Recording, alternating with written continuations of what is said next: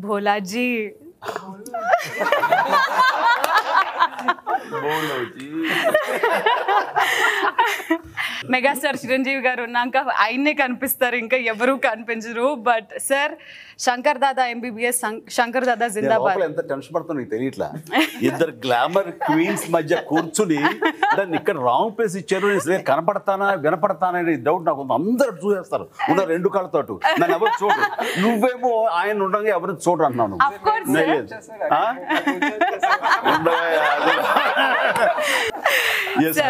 So Shankar Dada MBBS Shankar Dada జిందాబాద్ ఈ రెండు సినిమాల తర్వాత ఒక పర్ఫెక్ట్ ఎంటర్టైనర్ రాబోతుంది అనేది ట్రైలర్ చూసిన తర్వాత నుంచి ప్రతి ఒక్కరి నోటి నుంచి వచ్చే మాట.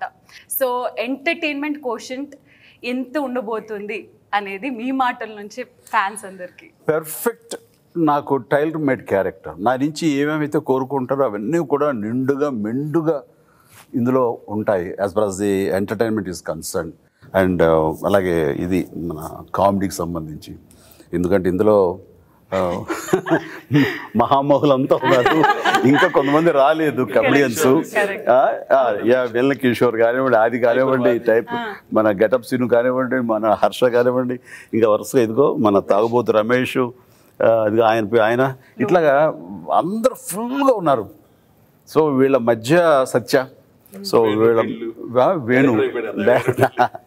సో వీళ్ళ మధ్య ఎంత లైవ్లీగా ఉంటుందంటే సీను విన్నప్పుడు చాలా యావరేజ్గా అనుకుంటాం కానీ తెర మీదకి వచ్చేసరికి పెర్ఫార్మెన్స్ ఒక్కడు వాళ్ళ ఇన్పుట్స్ వీళ్ళ ఇన్పుట్స్ వాళ్ళ కూడా వీళ్ళ కూడా తోటి గగ్గోలుగా ఉంది scene so that's how I enjoyed while making the comedy scenes అవి షూటింగ్ అంటే ఇది సరదాగా చెప్పాల్సి వస్తే ఉంగళకి ఎంటర్టైన్మెంట్ వేణుమా?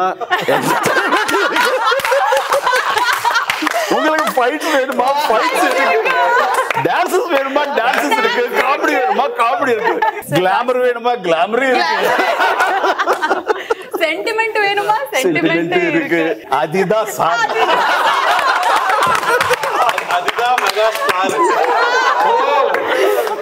అందుకని ఆ రకంగా ఈ మధ్య చేసే సినిమాల్లో పోల్చుకుంటే ఈ సినిమా మాత్రం హై యాక్ట్ అండ్ కామెడీ